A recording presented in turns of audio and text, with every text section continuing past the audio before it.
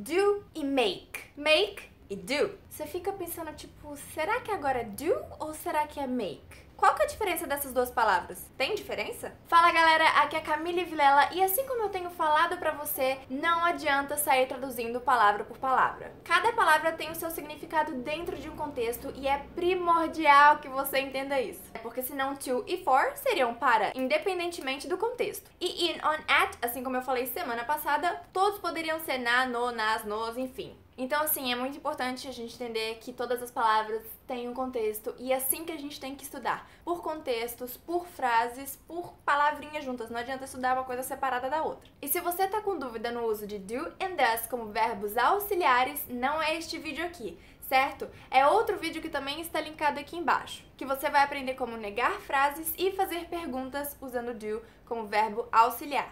Então, se você realmente quer aprender a diferença de do e make, você tem que assistir vídeo, você tem que escutar música, você tem que ler livro, você tem que entrar no mundo do inglês. Porque quanto mais você se expor à língua, mais você vai absorver, mais você vai aprender naturalmente. E ó, esse é um processo fenomenal que só depende de você. E é claro que para te ajudar, eu sempre dou essas dicas e tudo mais para otimizar o seu tempo e fazer com que tudo seja mais rápido e mais fácil para você entender. Então, pra gente começar, é bom que você saiba que tem muita gente que coloca e make em duas caixinhas do como processo e make como produto. Mas essas palavras são muito mais abrangentes do que isso. Porque se fosse assim, nós teríamos mais frases, mais exemplos fora como exceções do que frases dentro da regra. Então não dá pra ser assim. Então, pra gente pensar em do e make, eu gostaria que você pensasse em três dicas para cada um deles. Vamos lá. O do, nós pensaremos nesses três tópicos. Repetição e obrigação, substituição and multiple actions. Multiple actions. Já make nós teremos criar e produzir, escolha, sequência, ação e reação e sounds. Essas são as formas que eu acho que são mais fáceis para você entender a diferença dos dois e também para você lembrar quando necessário. Agora nós vamos desmembrar cada um desses tópicos em collocations. Collocations são frases ou palavras, né, um conjunto de palavras que você usa junto do do e junto do make para ficar mais fácil de entender e para você lembrar, né? Você vai escutar aquela palavra, você sabe que aquela palavra vai ser com tal ou com fulaninha, vai ser mais fácil de você entender. Então vamos lá, vamos lá, vamos lá. Então bora começar com o do como repetição e obrigação. Aqui são atividades comuns que você realiza tanto em casa, quanto no trabalho, quanto na escola ou na faculdade. Por exemplo, do homework or do assignments. Do homework or do assignments são os trabalhos escolares, né, o dever de casa que você leva para estudar e fazer as atividades em casa, e os assignments normalmente você tem na faculdade que os professores podem vistar ou você tem que entregar valendo ponto, enfim. Do homework, do assignments. Do research, do research, fazer pesquisas. Do a course, do a course. Quando você faz um curso, you do a course, not make. Do a course. Do household chores do household chores, que é fazer as coisas de casa, né? As tarefas domésticas, que é limpar o chão, entendeu? Limpar a cozinha, fazer todas essas coisas que você tem que fazer se você tem uma casa. Do exercise, que é fazer exercícios, exercícios físicos. Do exercise. Do exercise. Do business. Do business, que é negociar, trabalhar com. Do a job, para os freelancers. Do a job. Do a job, fazer um trabalho. Do a job. Perceba que aqui todas essas atividades que eu falei, sendo homework, sendo exercise or a job, você tem um começo, meio e fim, ok? Essas ações repetidas ou que sejam obrigações dentro do seu dia a dia, elas têm começo, meio e fim. Agora o do, como substituição, ele vai substituir outros verbos que já são óbvios, que já são claros de acordo com o contexto. Exemplos. Do the laundry. Do the laundry. Do the laundry significa lavar as roupas, certo? Só que aqui, do the laundry seria wash the laundry, ok? Então você já substitui o wash pelo do. Do the dishes. Do the dishes, que é lavar os pratos, mas você também pode falar wash the dishes. Então, mais uma vez, o do substituindo wash. Wash the laundry, wash the dishes. Do the laundry, do the dishes. Do a test. Do a test. Fazer uma prova, que poderia ser take a test take a test, do a test. Do my nails, do my nails. Fazer minhas unhas, decorar e pintar minhas unhas. Eu posso falar paint my nails, paint my nails. Ou, por exemplo, do a report, do a report, que poderia ser write a report, que é fazer um relatório, escrever um relatório, ok? Então a gente já viu o do por repetição e obrigação e também por substituição de outras ações, já que ficam claras por conta do contexto. Agora nós vamos para do como multiple actions. Esse é o que eu mais gosto. Maravilhoso. Então, assim, vamos pegar um exemplo em português para ficar bem claro que a gente tá querendo trabalhar aqui. Quando eu falo, ah, eu limpei a casa. Maravilha, limpou a casa. Então, o que, que você fez ao limpar a casa? Ah, eu passei pano no chão, eu desempoeirei os móveis, eu arrumei a cama, eu lavei a cozinha, eu fiz muitas coisas. E eu só falei, eu limpei a casa. Veja bem, eu estou colocando muitas ações, muitas coisas que eu fiz em uma frase simples. Né? Em limpar a casa. Nossa, que simples, parece tão simples. Mesma coisa com o inglês, só que a gente vai usar o do nesse caso. Ele vai resumir um monte de ação assim, ó, de uma vez. Exemplos que a gente já deu aqui, tanto quanto repetição e obrigação ou substituição de verbo, que é do the laundry or do the dishes, né? Se eu tô falando do the laundry, eu tô falando que eu lavo a roupa, eu ponho a roupa para secar, depois que ela secou eu dobro, depois que ela, depois que eu dobrei eu guardo. Então assim, muitas coisas.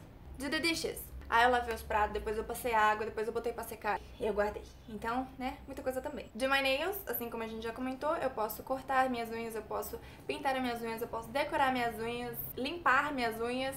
Do my nails. Tem muitas coisas que podem estar ali dentro do contexto. Or, do my hair. Do my hair. Eu posso pintar meu cabelo, eu posso cortar meu cabelo, eu posso pentear e escovar o meu cabelo.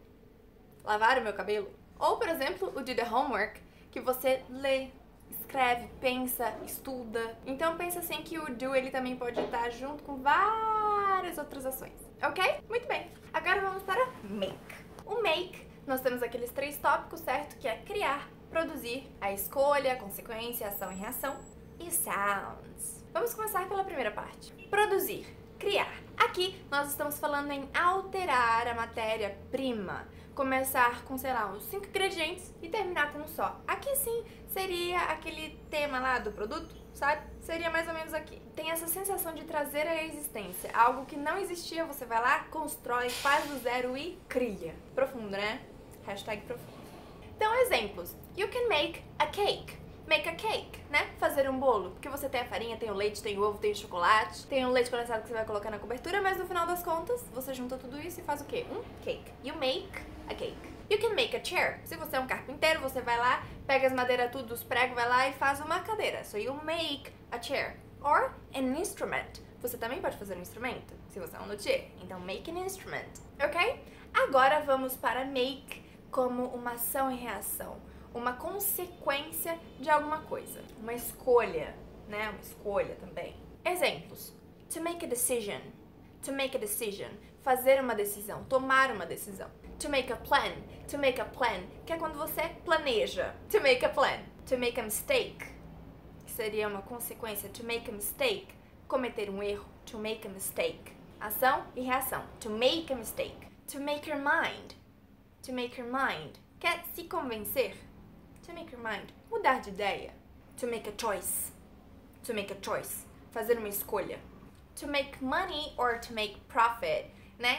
Quer fazer dinheiro, to make money or to make profit. Quer ter lucro, obter lucro. Aqui, nesses dois casos, a gente pode pensar que você fez uma sequência de ações, muitas coisas, muitas coisas, muitas coisas para ter dinheiro, para ter lucro. Então, é uma reação, uma consequência.